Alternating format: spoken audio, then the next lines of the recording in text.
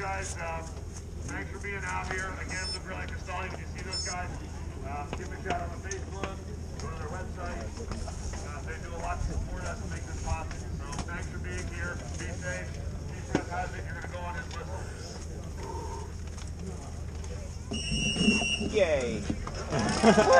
his whistle. Yay.